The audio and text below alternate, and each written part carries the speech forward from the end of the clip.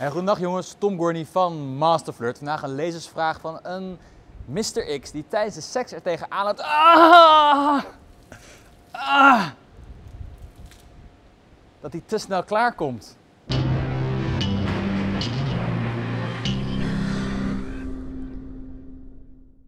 Gast, moet je horen, dit soort dingen gebeuren gewoon. Je bent een jonge jongen, je bent net begonnen met seks en het hele verhaal. En het duurt gewoon even voordat je spreekwoordelijk wat eelt op jouw eikel hebt. Dus chill. Dit hoort er echt gewoon bij, all good.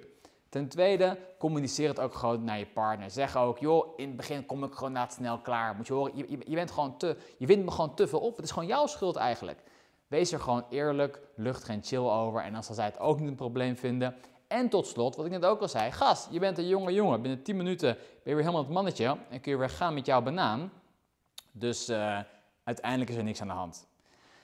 Uh, dus dat. Subscribe, check onze website, uh, check onze andere video's. Welkom, gaaf dat je er bent. blijf kijken en tot in het volgende filmpje. Ciao.